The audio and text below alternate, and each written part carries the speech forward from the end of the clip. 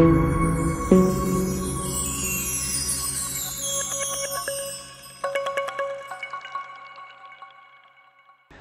की इस वीडियो में हम बात करने वाले हैं फोटोमॉर्फोजेनेसिस से रिलेटेड पहले फ़ोटो रिसेप्टर के बारे में, जो कि है फाइटोक्रोम ओके ये टॉपिक आपको आपके सिलेबस में दूसरी फ़ोटो बायोलॉजी नाम से मिल जाएगा। तो कोई बच्चे जो है, परेशान ना हो कि ये तो पढ़ाया ही नहीं, ठीक है? सेंसरी फोटोबायोलॉजी का मतलब होता है प्लांट का कुछ ऐसा सिस्टम जो कि लाइट को सेंस करना जानता हो। और जब हम सेंसरी फ़ोटो बायोलॉजी के बारे में बात करते हैं तो मेनली हम फ़ोटो रिसेप्टर्स को डील कर रहे होते हैं। तो आज का जो हमारा पहला फ़ोटो रिसेप्टर है that is a phytochrome so let's begin देखते हैं कि इसकी कहानी कैसे कैसे चलती है, ठीक है? ओके तो सबसे पहले शुरू करते हैं एक छोटी सी बात से कि सपो सपोज़ कीजिए कि दिस इज़ अ प्लांट ठीक है? अब इस प्लांट को ग्रो करना है। तो वेरी ऑब्वियस इस प्लांट को ग्रो करना है तो इसे क्या चाहिए? इसे चाहिए लाइट ठीक है? सनलाइट से सनलाइट इज़ सनलाइट से जो लाइट आती है दैट इज़ वो बहुत से लाइट्स का कंपोजिशन होती है। तो लाइट चाहिए। अब प्लांट अलग अलग टाइप के लाइट्स को रिसीव करता है। जैसे कि हो गया रेड लाइट हो गया ब्लू लाइट हो गया। तो इन सारे लाइट को रिसीव करने के लिए कोई तो रिसेप्टर चाहिए होगा। मतलब कोई ना कोई रिसीवर चाहिए होगा राइट तो प्लांट एक्चुअल में लाइट को या सनलाइट को डिटेक्ट इसलिए कर पाते हैं क्योंकि उनके पास फ़ोटो रिसेप्टर्स होते हैं। अब ये जो फ़ोटो रिसेप्टर्स हैं, ये वैरी हो सकते हैं, ठीक है? अगर हम फ़ोटो रिसेप्टर के बारे में बात करते हैं तो ये वैरी कर सकते हैं। कैसे कैसे वैरी कर सकते हैं? डिपेंडिंग कि कौन से टाइप का लाइट ये एब्जॉर्व करते हैं। जैसे कि फॉर एग्जांपल एक फ़ोटो रिसेप्टर जो कि red oblique far red light को रिसीव कर सकता है। उसको हम क्या कहेंगे? आप लोग, आप सबको नाम पता है, प्रीवियस क्लास में ही मैं डील कर चुकी हूँ। इसको हम कहते हैं दैट इज़ योर फाइटोक्रोम ठीक है? Phytochrome is a major type of a photoreceptor जो कि red and far red light को ही रिसीव करता है। नेक्स्ट टाइप आता है that is the blue light ठीक है? ब्लू लाइट ब्लू लाइट को रिसीव करने वाले बहुत से रिसेप्टर्स हैं। कुछ का नाम मेजर दो का मैं नाम यहाँ पे बता दे रही हूँ ऑल दो और भी बहुत सारे हैं, जैसे कि हो गया क्रिप्टोक्रोम ठीक है? Cryptochrome is a blue light photoreceptor इसके अलावा हो गया that is your phototropin phototropin is again a blue light photoreceptor इसके अलावा भी एक फ़ोटो रिसेप्टर होता है, जिसे हम बोलते हैं जेट लूप फैमिली या zeitlupe receptor zeitlupe zeitlupe receptors भी ब्लू लाइट फ़ोटो रिसेप्टर्स ही होते हैं, लेकिन उनको मेजॉरिटी ढंग से इसलिए स्टडी किया जाता है क्योंकि वो ऑर्गेनिज्म में साइकार्डियन रिदम को कंट्रोल करते हैं। What is the meaning of circadian rhythm that is the biological clock को कंट्रोल करना, ठीक है? तो फ़ोटो रिसेप्टर इतने टाइप के हो सकते हैं, यानी प्लांट में इतने टाइप की लाइट को एब्जॉर्व किया जाता है प्लांट के थ्रू और रिसीव करने के लिए इन सारे फ़ोटो रिसेप्टर्स का यूज़ किया जाता है। आज का हमारा जो टॉपिक होगा, वो होगा फाइटोक्रोम आने वाले वीडियो में हम क्रिप्टोक्रोम एंड फोटोट्रॉपिन दोनों के बारे में पढ़ेंगे। ओके. तो फाइटोक्रोम का एक बहुत ही इंपॉर्टेंट फ़ंक्शन होता है, जिसे हम मेनली बोलते हैं फोटोमॉर्फोजेनेसिस ठीक है, यहाँ पे जो प्लांट अगर हम बात करते हैं, मान लीजिए इस प्लांट ने लाइट रिसीव किया, और लाइट रिसीव करने के बाद जो है, ये अपना ग्रोथ शो कर रहा है। तो लाइट पे डिपेंड होके ये जो अपना ग्रोथ शो कर रहा है that is what call the photomorphogenesis photo means what light morphogenesis mean the pattern और द चेंजेस राइट? जो चेंजेस आते हैं प्लांट में। यानी प्लांट में आने वाले कुछ ऐसे चेंजेस जो कि लाइट पे डिपेंडेंट होते हैं। तो फाइटोक्रोम का एज वेल एज क्रिप्टोक्रोम का एक बहुत ही मेजर रोल होता है फोटोमॉर्फोजेनेसिस करवाने में। इसे ही हम बोलते हैं फोटोमॉर्फोजेनेसिस फोटोमॉर्फोजेनेसिस ठीक है? अब फोटोमॉर्फोजेनेसिस की जब हम बात करते हैं तो दो यहाँ पे टर्म आते हैं। आपने जनरली देखा होगा कि ऐसे प्लांट्स जिसको कि हम बहुत ही ज़्यादा ऐसे कंडीशन में ग्रो करें जहाँ पे उनको लाइट नहीं मिल रही है। यानी घर के अंदर ग्रो करके देखिए, अक्सर वो प्लांट जो हैं, बाहर के प्लांट से काफ़ी ज़्यादा डिफरेंट होंगे। तो इन्हीं के डिफरेंसेस के बारे में आज हम यहाँ पे बात करने वाले हैं। जैसे कि फॉर एग्जांपल ऐसा प्लांट जिसको कि लाइट प्रॉपरली नहीं मिला है और वो एक डार्क कंडीशन या लाइट इनसफिशियंट कंडीशन में ग्रो होता है। उसको हम कहते हैं दैट इज़ स्कोटोमॉर्फोजेनेसिस यानी चेंजेस तो आए हैं उस प्लांट में, लेकिन लाइट की प्रेजेंस में नहीं आए हैं, या इनफ लाइट की प्रेजेंस में नहीं आए हैं। ऐसे ग्रोथ को हम बोलते हैं स्कोटोमॉर्फोजेनेसिस ऑब्लिक इसी को हम बोलते हैं इटियोलेटेड ग्रोथ दूसरी तरफ़ ऐसा प्लांट जो कि लाइट में ग्रो हो रहा है लाइट पे डिपेंड होकर अपनी बॉडी के अंदर चेंजेस कर रहा है that is what call the photomorphogenesis इसके अलावा इसको हम एक और नाम देते हैं that is the etiolated growth क्योंकि इटियोलेटेड ग्रोथ का मतलब हो गया ऐसा प्लांट जो कि डार्क में ग्रो कर रहा है, और डी वर्ड लगा देंगे मतलब जो कि लाइट में ग्रो कर रहा है. जैसे एक्टिवेटेड डी एक्टिवेटेड वर्ड हम यूज़ करते हैं, बिल्कुल वैसा ही. तो ऐसे प्लांट्स की कुछ खासियत होती है. जैसे कि फॉर एग्ज़ाम्पल ऐसे सीडलिंग्स जो कि डार्क में ग्रो करी हैं या लाइट के एब्सेंस में ग्रो करी हैं, उनका कॉटिलिडन हमेशा क्लोज रहता है। इसके अलावा एपिकल हुक का फॉर्मेशन होता है मतलब प्लांट्स को अगर आप देखोगे ना तो स्टार्टिंग में कुछ ऐसा एपिकल पोर्शन होता है और वो हुक की तरह फॉर्म होने लगता है स्पेसिफिकली तब जब उसे डार्क कंडीशन मिल रहा हो। अगर आपने इथिलीन का triple response C S R NET के सिलेबस में पढ़ा है, जिसमें कि एपिकल हुक का फॉर्मेशन होता है, ये बिल्कुल वैसा ही एपिकल हुक का फॉर्मेशन की बात की गई है। तो क्लोज कॉटिलिडन देखने को मिलेगा एपिकल हुक का फॉर्मेशन शॉर्ट जो है शॉर्ट रूट्स हो जाएँगे। इसके अलावा स्टेम दैट इज़ हाइपोकोटाइल का इलांगेशन हो जाएगा, बहुत ज़्यादा लेंथ लॉन्ग हो जाएगी प्लांट की। इंटरनोड्स लॉन्ग लॉन्ग हो जाएँगे एज वेल एज क्लोरोसिस यानी प्लांट जो है पेल येलो कलर का नज़र आएगा। सब कुछ जो है, आप इस पर्टिकुलर प्लांट से मैच कर सकते हैं।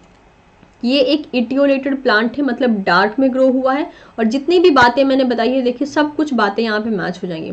इसका लेंथ नॉर्मल प्लांट के अकॉर्डिंग बहुत ज़्यादा लॉन्ग है। इसका पेल येलो कलर है, ग्रीनिश कलर नहीं है। एपिकल हुक देखिए, ऊपर से जो पोर्शन है, इस प्लांट को देखिए और इस प्लांट को देखिए। ऊपर के जो पोर्शन है थोड़े थोड़े से बेंड होके रखे हैं। That is what call the apical hook इनके कॉटिलिडन क्लोज होते हैं, जो कि मेनली दैट इज़ फ़ूड को स्टोर करते हैं। वो कॉटिलिडन्स क्लोज रहते हैं। इसके अलावा जो है दैट इज़ इनके इंटरनोड्स लॉन्ग देखे जाते हैं। तो ऐसे सीडलिंग को हम बोलते हैं डार्क ग्रोन सीडलिंग और इसको हम कहते हैं स्कोटोमॉर्फोजेनेसिस ठीक है? यानी dark induced growth is known as a skotomorphogenesis oblique etiolated growth second यहाँ टर्म आता है फोटोमॉर्फोजेनेसिस का। फोटोमॉर्फोजेनेसिस का मीनिंग मैंने अभी आपको बताया कि लाइट में होने वाले ग्रोथ ऑब्लिक प्लांट में चेंजेस जो हैं दैट इज़ वो कहलाते हैं फोटोमॉर्फोजेनेसिस इसी को हम कहते हैं डी इटियोलेटेड ग्रोथ अब इस टाइम पे कौन कौन से सिम्टम्स देखने को मिलेंगे? बिल्कुल इसका उल्टा। जैसे कि हाइपोकोटाइल की लेंथनिंग इनहिबिट हो जाएगी। यानी ज़रूरत से ज़्यादा प्लांट लॉन्ग नहीं होगा। ये जो इतना लेंथ लिया है ना, ये अनवांटेड लेंथ है। एक प्लांट को, यहाँ से एक पहला कंसेप्ट आपके जो है ब्रेन में जाना चाहिए कि एक्चुअल में फोटोमॉर्फोजेनेसिस में प्लांट को एक एक्यूरेट लेंथ देने के लिए उसका एक्सेस ग्रोथ को भी रोका जाता है। तभी एक प्लांट बिल्कुल वैसा ही हाइट ले पाता है जितने की उसको ज़रूरत है। तो यहाँ पे हाइपोकोटाइल की अनवांटेड जो लेंथनिंग थी, उसको इनहिबिट किया जाता है ताकि वो अप्रोप्रिएट हाइट ले।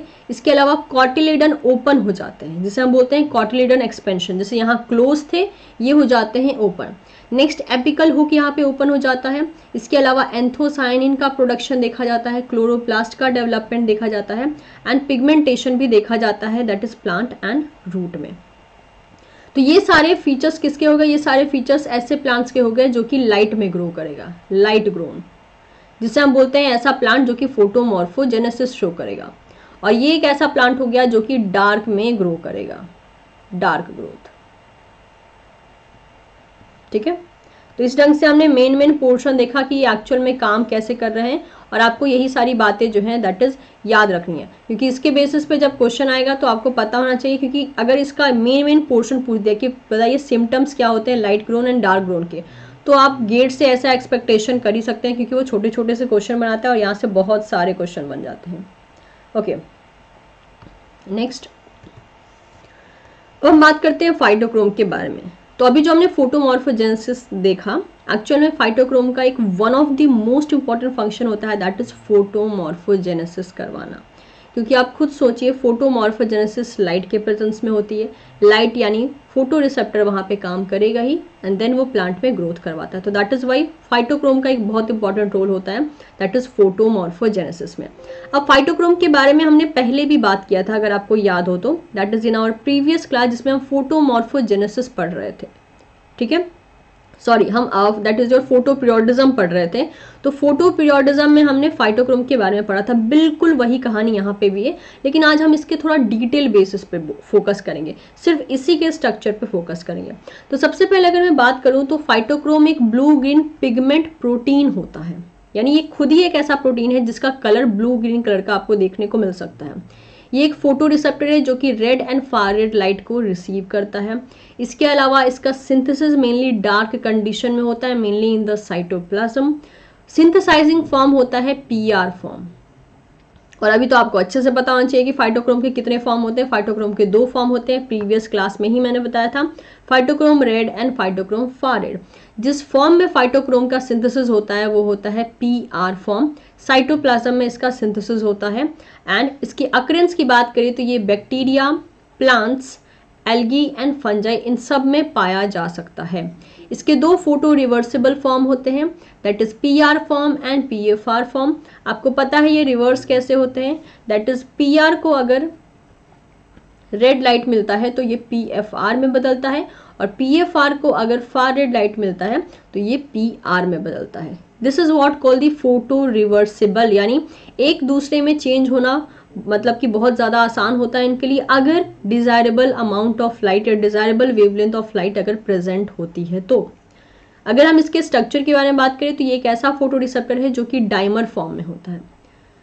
और इसे हम क्रोमो प्रोटीन भी कहते हैं बिकॉज़ इनके पास क्रोमोफोर होता है।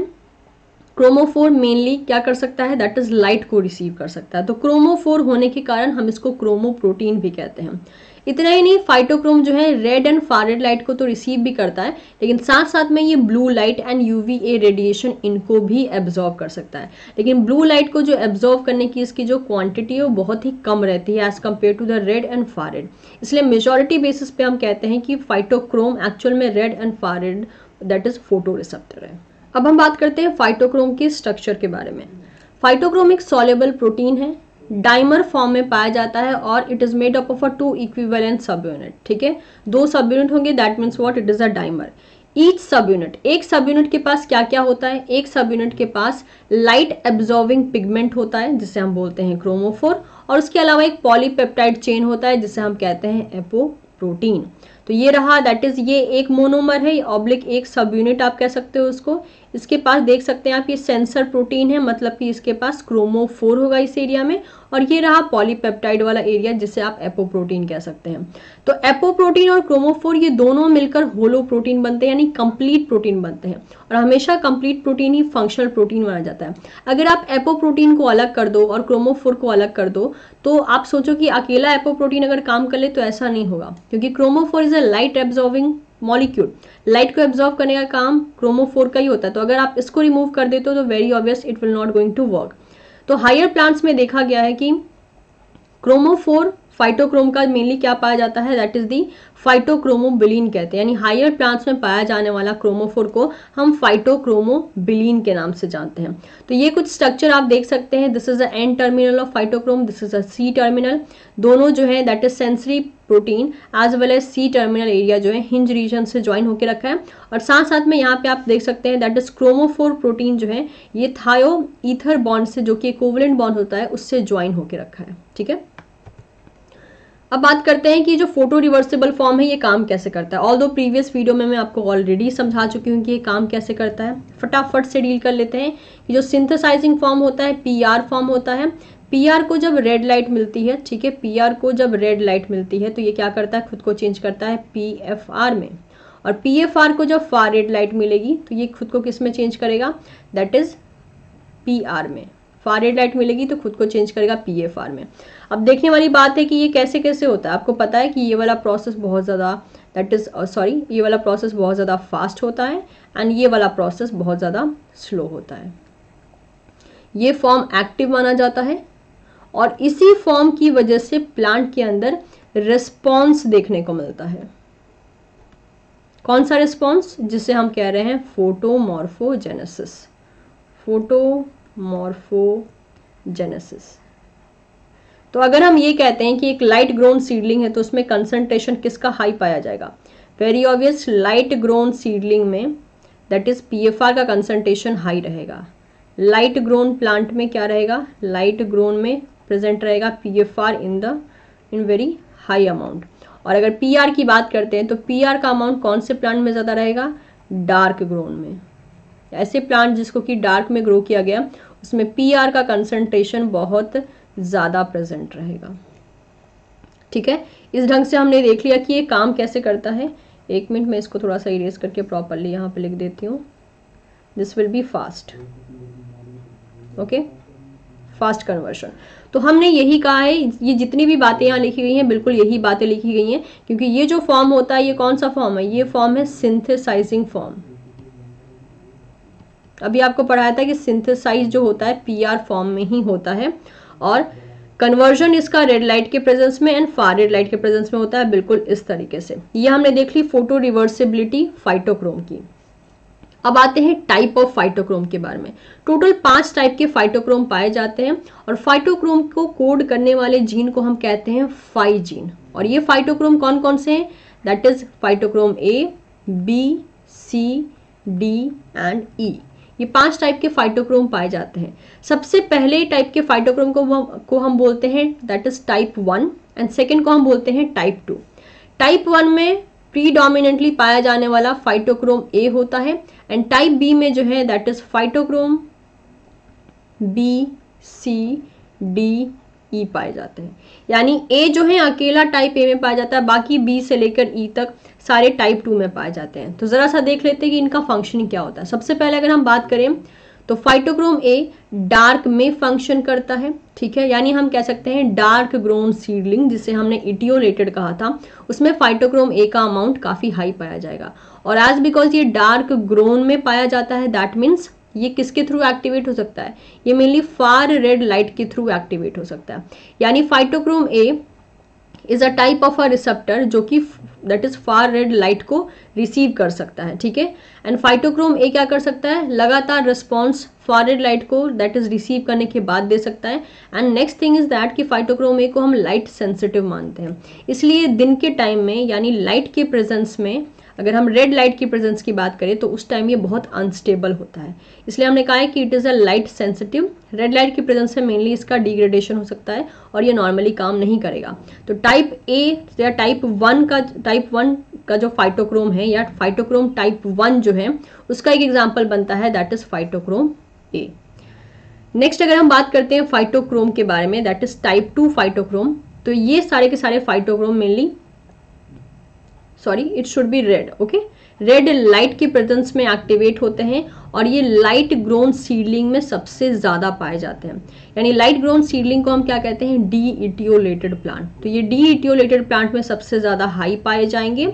इसके अलावा ये रेड लाइट की प्रेजेंस में एक्टिवेट होते हैं। That means what they are red light photo receptors इन सभी फाइटोक्रोम में से जो फाइटोक्रोम बी होता है, सबसे ज़्यादा अबंडेंट अबंडेंट बेसिस पे पाया जाता है that is in a light grown seedling example के लिए हो गया phytochrome B C D and E ये सारे के सारे फाइटोक्रोम टाइप टू फाइटोक्रोम के पार्ट माने जाते हैं, ठीक है? तो टोटल अराबिडॉप्सिस में अगर हम कहें तो टोटल पाँच फाइजीन पाया जाता है राइस में ओनली थ्री पाया जाता है पॉपुलर में ओनली टू पाया जाता है। तो यहाँ से छोटे मोटे से क्वेश्चन बन सकते हैं। तो इस ढंग से हमने देख लिया कि फाइटोक्रोम के टाइप कितने होते हैं। दो टाइप होते हैं। एक में सिर्फ़ फाइटोक्रोम ही आता है, बाकी सेकेंड वाले में बी सी डी ई आता है। बी सी डी ई या टाइप टू जो होते हैं, ये लाइट स्टेबल होते हैं। ठीक है? याद रखेगा these are the light stable phytochrome जबकि फाइटोक्रोम में लाइट सेंसिटिव था। ठीक है? Okay okay. लास्ट चला आता है दैट इज़ द फ़ंक्शन इसके बाद हम मोड ऑफ़ एक्शन देखेंगे। फाइटोक्रोम का मेनली फ़ंक्शन क्या होता है? फोटोमॉर्फोजेनेसिस करवाना नेक्टिनेस्टिव मूवमेंट करवाना लीफ का दैट मीन्स वो लीफ जो कि दिन के टाइम में ओपन रहती हैं एंड रात के टाइम में क्लोज हो जाती हैं। सीड का जर्मिनेशन करवाना एंड देन फ्लावरिंग करवाना। तो ये कुछ छोटे मोटे से फ़ंक्शन थे रिगार्डिंग द फाइटोक्रोम अब हम बात करते हैं मोड ऑफ़ एक्शन के बारे में, यानी काम कैसे करता है। अब जब भी कोई चीज़ काम करती है तो उस पर्टिकुलर पाथवे के पॉजिटिव रेगुलेटर होते हैं एंड नेगेटिव रेगुलेटर्स भी होते हैं, ठीक है? तो सबसे पहले अगर हम बात करते हैं कि इस पर्टिकुलर फाइटोक्रोम के मोड ऑफ़ एक्शन के लिए नेगेटिव रेगुलेटर्स कौन से होते हैं तो पहले का नाम है पीआईएफ पीआईएफ क्या होता है? फाइटोक्रोम इंटरेक्टिंग फैक्टर्स ये phytochrome interacting factors they are mainly famous for the etiolated growth मतलब ये डार्क में ग्रो ग्रोथ करवाने के लिए फ़ेमस है। ये मेनली डार्क डार्क में इंड्यूस होने वाले जीन को एक्टिवेट करते हैं और प्लांट में इटियोलेशन करवाते हैं। तो यानी ये कैसे हो गए फाइटोक्रोम एंड स्कोटोमॉर्फोजेनेसिस तो पूरा उल्टा चलता है ना? क्योंकि फाइटोक्रोम प्रेजेंट है मतलब कि फोटोमॉर्फोजेनेसिस होना चाहिए। लेकिन PIF is famous for the skotomorphogenesis तो ये पूरा उल्टा हो गया। So that is why we are saying कि पीआईएफ जो है नेगेटिव रेगुलेटर होता है फाइटोक्रोम के एक्शन का। फिर आता है COP one COP one is a constitutive photomorphogenic one एक, ये एक ईथी यूबिक्यूटिन लाइगेज है। ये particular that is COP one का काम होता है कि अपने टारगेट प्रोटीन पे छोटे छोटे से यूबिक्यूटिन प्रोटीन्स को ऐड करना और उसका डिग्रेडेशन करवा देना। ठीक है? कॉप वन का एक और फ्रेंड होता है S P A one S P A one protein के साथ जब कॉप वन बाइंड करता है तो स्टेबल हो जाता है और उस पर्टिकुलर स्टेबिलिटी के कारण वो अपना फ़ंक्शन जो है बहुत अच्छे से परफॉर्म कर पाता है। तो that is P I F COP one S P A one ये तीनों जो है नेगेटिव रेगुलेटर माने जाते हैं फाइटोक्रोम के एक्शन के। अब अगर पॉजिटिव रेगुलेटर की बात करें तो फाइटोक्रोम खुद एक पॉजिटिव रेगुलेटर होता है, अगर वो लाइट स्टेबल फॉर्म में प्रेजेंट है तो एज वेल एज जो एच वाई फाइव जो कि एक ट्रांसक्रिप्शन फैक्टर है ये भी क्या होता है? This is also acting as a positive regulator क्योंकि अगर इसका ट्रांसक्रिप्शन होता है तो वेरी ऑब्वियस प्लांट में फोटोमॉर्फोजेनेसिस देखने को मिलेगा। तो सिर्फ़ अकेला एच वाई फाइव ही ट्रांसक्रिप्शन फैक्टर नहीं है, और भी ट्रांसक्रिप्शन फैक्टर है, जैसे कि हो गया एच वाई फाइव खुद L F L A F one and H F R one ये सब के सब क्या हो गया ट्रांसक्रिप्शन फैक्टर हो गए। एच वाई फाइव का मेनली जो स्ट्रक्चर है, इसको हम बेसिक ल्यूसिन जिपर टाइप मानते हैं। B zip type transcription factor मानते हैं। तो ये सभी के सभी एक टाइप के ट्रांसक्रिप्शन फैक्टर हो गए, जो कि यहाँ पे काम करते हैं। अब जरा सा हम इसके मोड ऑफ़ एक्शन को स्टडी करते हैं कि ये क्या क्या काम कर रहे हैं। तो देखिए, ओके? आपको ध्यान से यहाँ पे देखना है मोड ऑफ़ एक्शन कैसे चल रहा है। अब मोड ऑफ़ एक्शन यहाँ पे दो टाइप से होता है। ठीक है? पहले हम बात करते हैं दैट इज़ डार्क कंडीशन में क्या होता है। जब लाइट प्रेजेंट नहीं है, तब डार्क ऑब्वियसली डार्क रहेगा। और उस टाइम पे क्या होता है, हम जरा सा ये देख लेते हैं। तो सपोज़ कीजिए ये पूरा का पूरा स्लाइड जो है, ये एक साइटोसॉल है। ठीक है दिस इज़ साइटोसॉल और यहाँ पे जो है, मैं दैट इज़ एक न्यूक्लियस वाला एरिया बना देती हूँ। दिस इज़ अ न्यूक्लियस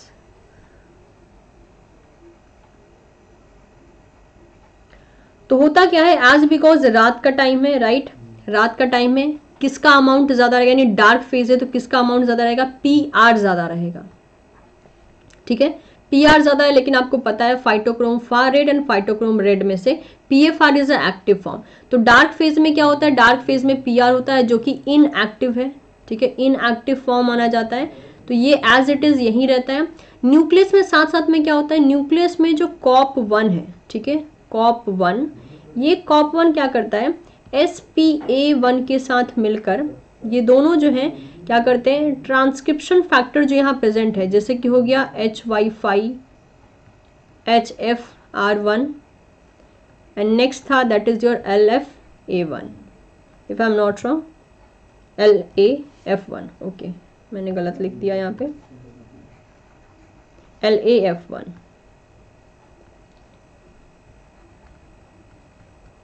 ठीक है? ये तीनों ट्रांसक्रिप्शन फैक्टर्स पे क्या करते हैं? आज because they are ubiquitin that is E three ubiquitin ligase ये सारे क्या करते हैं? इन सारे ट्रांसक्रिप्शन फैक्टर्स पे छोटे छोटे से प्रोटीन्स को ऐड कर देते हैं।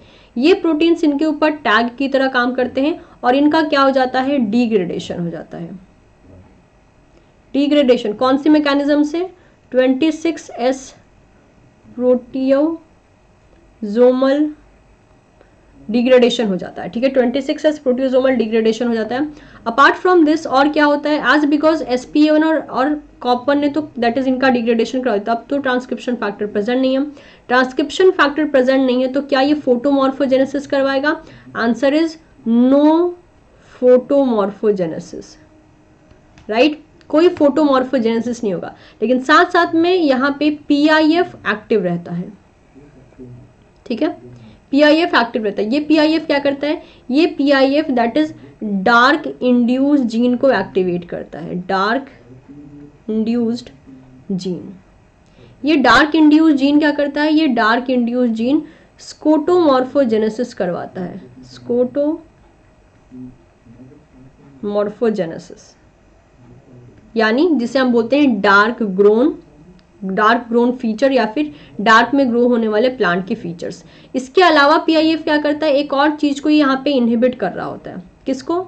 लाइट इंड्यूस जीन को। क्योंकि वेरी ऑब्वियस दैट इज़ ऐसी चीज़ों का ये एक्टिवेशन करवाएगा। जिसका दैट इज़ मेनली लेना देना जो है मेनली डार्क ग्रोन से होगा। लाइट ग्रोन वाली सारी की सारी चीज़ों को ये इनहिबिट करेगा। इसलिए नो फ़ोटो नो फोटोमॉर्फोजेनेसिस अब यहाँ पे फोटोमॉर्फोजेनेसिस तो होगा नहीं। सारे ट्रांसक्रिप्शन फैक्टर डिग्रेड हो चुके हैं। कैसे डिग्रेड हुए हैं? Twenty six S proteasomal pathway से हुए हैं। और डार्क फ़ेज़ में आपको क्या देखने को मिल रहा है कि कॉपर और एसपी वन कहाँ रहता है? कॉपर और एसपी वन सबके सब न्यूक्लियस के अंदर प्रेजेंट है। लेकिन जब हम बात करते हैं कि लाइट के कंडीशन में क्या रहता है लाइट फ़ेज़ में क्या देखा जाता है तो लाइट फ़ेज़ में देखने के लिए हम अगेन यहाँ पे एक न्यूक्लियस को ड्रॉ कर देते हैं। सपोज़ कीजिए ये है न्यूक्लियस और ये ऑब्वियसली ये पूरा का पूरा स्लाइड जो है दैट इज़ साइटोसॉल है। तो अब देखने को क्या मिलता है दैट इज़ लाइट की प्रेजेंस में क्या होगा? पी आर है राइट पी आर को रेड लाइट मिलेगी। रेड लाइट की प्रेजेंस में क्या होगा? ये पी एफ़ आर में चेंज हो जाएगा। पी एफ़ आर में चेंज होने के बाद क्या करेगा? ये लेगा अंदर एंट्री ठीक है? ये आ गया P F R P F R के अंदर एंट्री लेते ही क्या करेगा? ये सबसे पहले क्या करेगा? सबसे पहले ये बाहर भेज देगा किसको? कॉप वन को।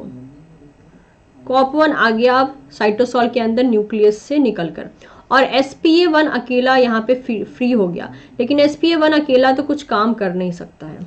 तो कॉपन बाहर चला गया एस पी ए वन यहाँ पे आ गया। इसके अलावा ये पी एफ़ आर क्या करता है? फटाफट से पी आई एफ़ को इनहिबिट करता है। और पी आई एफ़ का यहाँ पे डिग्रेडेशन करवा देता है। ट्वेंटी सिक्स एस मशीनरी के थ्रू ही डिग्रेडेशन करवा देता है यहाँ पे। यानी पीआईएफ भी खत्म। क्यों? क्योंकि लाइट का प्रेजेंस है यहाँ पे। यहाँ पे फोटोमॉर्फोजेनेसिस होना चाहिए। स्कोटोमॉर्फोजेनेसिस वाली सारी चीज़ों को यहाँ पे रोक देना है। अब as a result of that क्या होगा? As a result of that ये जो हमारे पास ट्रांसक्रिप्शन फैक्टर थे, जैसे कि हो गया एच वाई फाइव ठीक है? इसके अलावा हो गया that is your L A F one ठीक है? इसके अलावा that is your H F R one ये सारे ट्रांसक्रिप्शन फैक्टर क्या हो जाएँगे? फ्री हो जाएँगे. दे आर फ्री अब फ्री होंगे तो क्या करेंगे? वेरी ऑब्वियस फ्री होंगे तो ये क्या करेंगे? दैट इज़ ट्रांसक्रिप्शन करेंगे. ट्रांसक्रिप्शन करेंगे तो क्या होगा? ऐसे जीन का ट्रांसक्रिप्शन करेंगे जो कि फोटोमॉर्फोजेनेसिस करवाएगा. फोटोमॉर्फोजेनेसिस तो ये थी पूरी कहानी that is for your phytochrome कि इसका मोड ऑफ़ एक्शन कैसे काम करता है। जो याद रखने वाली बात यह है कि एच वाई फाइव का डिग्रेडेशन कब होता है? नाइट टाइम में होता है या लाइट में या डे में? लाइट को हम डे कंडीशन भी कह सकते हैं और यहाँ पे हम डार्क को नाइट कंडीशन भी कह सकते हैं। फाइन तो इस ढंग से हमने देख लिया कि लाइट के प्रेजेंस में क्या होता है एंड डार्क के प्रेजेंस में क्या होता है। मैं इसको थोड़ा सा हाईलाइट कर देती हूँ। ताकि आप लोग को जो है समझने में आसानी हो, ठीक है? ये रहा लाइट कंडीशन ये रहा डार्क कंडीशन अब इसी को मैंने यहाँ पे समराइज कर दिया है कि डार्क में क्या होगा? कॉपवन न्यूक्लियस के अंदर ही रहेगा, ठीक है? कॉपन जो है न्यूक्लियस के अंदर ही रहेगा। कॉपन फ़ंक्शन करेगा ई थ्री यूबिकिटिन लाइगेज जैसा और एच वाई फाइव का डिग्रेडेशन बार बार करवाता रहेगा, जिसकी वजह से डार्क कंडीशन में कोई भी फोटोमॉर्फोजेनेसिस देखने को नहीं मिलेगा। जबकि लाइट कंडीशन की बात करते हैं तो कॉप वन का एक्सपोर्ट साइटोप्लाज्म में हो जाएगा न्यूक्लियस में वो नहीं रहेगा। एच वाई फाइव फ्री हो जाएगा, जिसकी वजह से क्या होगा? एच वाई फाइव का एक्यूमुलेशन बहुत ज़्यादा होगा, क्योंकि कॉप वन बाहर चला गया तो अब इसको डिग्रेड करने वाला कोई नहीं है। एच वाई फाइव का यहाँ पे एक्यूमुलेशन बहुत ज़्यादा हो जाएगा। एच वाई फाइव फिर सक्सेसफुली ट्रांसक्रिप्शन करेगा, ऐसे जीन का ट्रांसक्रिप्शन करेगा, जो कि फोटोमॉर्फोजेनेसिस में हेल्प करेंगे। तो ये सारी की सारी बातें हो गई राइट तो ये I think like I am expecting कि ये पोर्शन जो है आपने प्रॉपर तरीके से समझ लिया होगा कि ये काम कैसे करते हैं। सेकेंड आती है चीज़ की शेड अवॉइडेंस शेड अवॉइडेंस यानी ऐसे पौधे जो कि दूसरे प्लांट के शेड में ग्रो होते हैं। जैसे कैनोपी एरिया होता है, अगर आपने देखा हो, मान लीजिए ये प्लांट है, ठीक है? ऐसे बहुत से यहाँ पे प्लांट है। कैनोपी एरिया में जिसे हम बोलते हैं मेनली बहुत ज़्यादा घना जो एरिया रहता है, बहुत ज़्यादा डेंस फॉरेस्ट एरिया रहता है तो वहाँ पे छोटे छोटे से प्लांट्स भी बन लाइक प्रोड्यूस होते हैं। लेकिन उन प्लांट्स को कभी भी उतनी सनलाइट नहीं मिल पाती है। तो ये जो प्लांट है, जो कि सफ़र होते हैं, क्योंकि उनको सनलाइट नहीं मिल पाती है, इसे ही हम बोलते हैं क्या? That is shade avoidance syndrome जिसकी वजह से ये क्या करते हैं? जिसकी वजह से आज बिकॉज़ इनको बिल्कुल वैसा ही कंडीशन मिल रहा है जैसे मान लो कि डार्क कंडीशन हो, क्योंकि लाइट तो मिल नहीं रही है। तो as a result of that हम ये कहते हैं कि ये बिल्कुल वैसे ही खुद को प्रेजेंट करते हैं जैसे मान लो कि डार्क कंडीशन हो। और आपको पता है डार्क कंडीशन होगा तो कौन सी चीज़ें होंगी? डार्क कंडीशन होगा तो हम ये कहेंगे कि पी आर फाइटोक्रोम रेड का अमाउंट ज़्यादा होगा। लाइट के मामले में किसका अमाउंट ज़्यादा होगा? लाइट के मामले में पी एफ़ आर का अमाउंट ज़्यादा होगा, क्योंकि डार्क फ़ेज़ में पी एफ़ आर ज़्यादा पाया जाता है और डार्क फ़ेज़ में पी आर भी सिंथेसाइज होता है। और ये प्लांट क्या करेगा? ये प्लांट बिल्कुल ऐसा ही ग्रोथ शो करेगा जैसा ग्रोथ मेनली आपको देखने को मिलता है इटियोलेटेड प्लांट में। रिजेंबल करेगा। यानी कहने का मतलब हो गया that is your long hypocotyl यानी उसका लेंथ बहुत ज़्यादा होगा। क्योंकि वो चाहता है कि उसको भी सनलाइट मिले, जिसकी वजह से उसका लेंथ बहुत ज़्यादा होगा। क्योंकि उसको ना चाह के भी ऐसा कंडीशन मिल रहा है, जैसे मान लो कि इसको किसी डार्क कंडीशन में रखा गया। क्योंकि इतने ज़्यादा जब डेंस फॉरेस्ट होते हैं तो लाइट जो है पूरा अंदर तक पेनिट्रेट नहीं कर पाती है। तो कैनोपी प्लांट्स में कौन से फाइटोक्रोम का अमाउंट ज़्यादा होगा? इस टाइप से करके आपसे पूछ सकता है क्वेश्चन ठीक है? या फिर पूछ सकता है कि कौन से दैट इज़ कौन सा लाइट का अमाउंट ज़्यादा होगा कौन से फाइटोक्रोम का अमाउंट ज़्यादा होगा? या फिर वहाँ के प्लांट किस टाइप का ग्रोथ आपको शो लाइक किस टाइप का ग्रोथ शो करते हैं? तो इस तरीके से अलग अलग टाइप के क्वेश्चन आ सकते हैं। नेक्स्ट आता है that is mutation condition mutation condition में क्या देखने को मिलता है? नॉर्मल बेसिस पे कहा जाए तो पीएफआर काम क्या कर रहा है? सॉरी पीएफआर का मेन काम क्या होता है? पीएफआर का मेन काम होता है दैट इज़ फोटोमॉर्फोजेंसिस करवाना। पीएफआर का एक और काम होता है, जिसे हम बोलते हैं दैट इज़ योर लेंथ को प्लांट के लेंथ को इनहिबिट करना। दैट इज़ हाइपोकोटाइल के इलांगेशन को इनहिबिट करना। तो क्या ये इनहिबिशन प्लांट को छोटा कर देता है? आंसर इज़ नो ये प्लांट को एक्यूरेट ग्रोथ प्रोवाइड करता है। ठीक है? प्लांट को अगर एक्यूरेट ग्रोथ प्रोवाइड करना है तो वेरी ऑब्वियस उनके ग्रोथ को लिमिटेड करना पड़ेगा। अगर उनको लिमिट में ना किया जाए तो वो ऑटोमेटिकली क्या होगा, बहुत ज़्यादा लेंथ लेते जाएँगे। तो लिमिटेड ग्रोथ को करवाने के लिए हम कहते हैं कि फाइटोक्रोम जो होता है that is mainly P form phytochrome का, वो स्टेम के लेंथ को इनहिबिट करता है, तभी एक प्लांट नॉर्मल हाइट अटेंड कर पाता है, ठीक है? तो पी एफ़ आर का काम काम क्या होता है? दैट इज़ इलांगेशन को रोकना। इलांगेशन को इनहिबिट करना। तो यहीं पे एक म्यूटेंट देखा गया है जिसका नाम है एच वाई फाइव म्यूटेंट। ठीक है? एच वाई फाइव म्यूटेंट को देखा गया है कि ये मेनली प्रॉपर ढंग से फंक्शनिंग नहीं कर पाता है। ठीक है? इसका जो क्रोमोफोर है इसका जो क्रोमोफोर है वो डिफेक्टिव है जिसकी वजह से वो लाइट को सेंस नहीं कर पाता है। और क्रोमोफोर डिफेक्टिव होने की वजह से क्या हो गया? इस, इसका एलोंगेशन इनहिबिट नहीं होता है जिसकी वजह से इसका हाइपोकोटाइल बहुत ज़्यादा हाइपोकोटाइल का लेंथ बहुत इंक्रीज हो जाता है। Length high. क्योंकि अगर ये प्लांट, यानी H Y five mutant plant अगर नॉर्मल होता तो इसका फाइटोक्रोम नॉर्मली काम करता नॉर्मली काम करता तो इलांगेशन को रोक कर रखता प्लांट को नॉर्मल हाइट प्रोवाइड करता। लेकिन आज बिकॉज़ इसका फाइटोक्रोम प्रॉपरली काम नहीं कर रहा है, क्योंकि क्रोमोफोर बायोसिंथेसिस ही नहीं हो रहा है, जिसकी वजह से क्या होगा, इसका हाइपोकोडाइल का लेंथ बहुत ज़्यादा इंक्रीज हो जाएगा। और as a result of that इसमें जो है, इसका लेंथ बिल्कुल वैसा नज़र आएगा जैसे मान लो कि इटियोरेटेड ग्रोथ शो कर रहा है। चाहे लाइट ही आप क्यों ना दे दें। इसको अगर एच वाई फाइव म्यूटेंट को, ठीक है म्यूटेंट को अगर आप लाइट में भी ग्रो करेंगे ना तो भी ये ऐसा खुद को, ऐसा खुद का ग्रोथ दिखाएगा जैसे कि वो ये एक इटियोलेटेड प्लांट हो। क्योंकि लाइट का असर इस पर तो तब पड़ेगा ना, जब इसके पास रिसेप्टर होगा, जब इसके पास रिसीवर होगा। लेकिन इसका तो क्रोमोफोर काम ही नहीं कर रहा। तो इसको कुछ फ़र्क ही नहीं पड़ता, चाहे आप इसको डार्क कंडीशन दीजिए, चाहे आप इसको लाइट दीजिए। आइदर डार्क या फिर लाइट कोई भी कंडीशन दे दीजिए, इसका हाइपोकोराई का लेंथ बढ़ता रहेगा। सिमिलरली एक एक और म्यूटेंट आता है, जिसे हम बोलते हैं क्वाड्रोपोल म्यूटेंट यानी पीआईएफ जीन का अगर वेरिएंट की बात करें तो मान लीजिए चार टाइप का पीआईएफ जीन है, और चारों का चारों पीआईएफ जीन क्या हो गया? म्यूटेट हो गया, ठीक है? म्यूटेटेड पीआईएफ्स तो क्या होगा? अब चाहे आप इसको लाइट दीजिए, ठीक है? या डार्क दीजिए। कोई भी कंडीशन दीजिए, ये एक ही काम करेगा दैट इज़ व्हाट फोटोमॉर्फोजेनेसिस अब आप तो बोलोगे, मैम, अभी तो आपने बोला था कि पीआईएफ जो है दैट इज़ कोटोमॉर्फोजेनेसिस करता है। ये फोटोमॉर्फोजेनेसिस कैसे कर रहा है? क्योंकि ये म्यूटेंट है। म्यूटेशन की वजह से ये अपना नॉर्मल काम नहीं कर पा रहा है। अब चाहे आप इसको लाइट दीजिए या फिर डार्क कंडीशन दीजिए, ये फोटोमॉर्फोजेनेसिस ही करवाएगा। इनफैक्ट डार्क में भी ये प्लांट में ऐसा ग्रोथ करवाएगा जैसे कि बिल्कुल फोटोमॉर्फोजेनेसिस में देखा जाता है।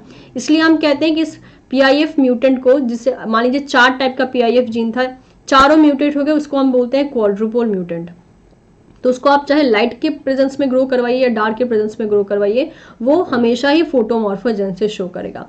तो एक आपके पास ये रहा म्यूटेशन कंडीशन और एक ये रहा, ठीक है? Okay so with this we are done with phytochrome I am expecting की चीज़ें आपको समझ में आ गई होंगी। So till then take care मिलते हैं आपसे नेक्स्ट वीडियो में। Bye and keep learning